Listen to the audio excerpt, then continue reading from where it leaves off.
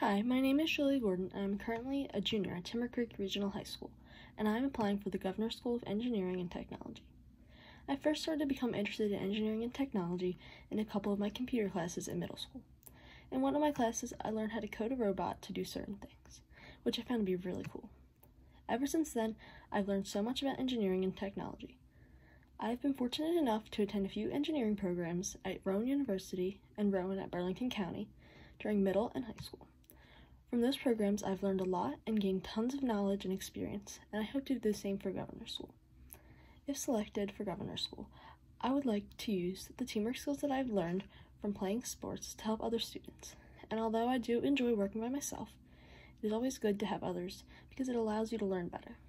With experience with with my experience with computers, I hope to work well with others for a common goal. In the future, I do not know what my career path will be, but I hope to someday work with computers and use the creativity that I developed from engineering. Thank you for this opportunity and have a great day.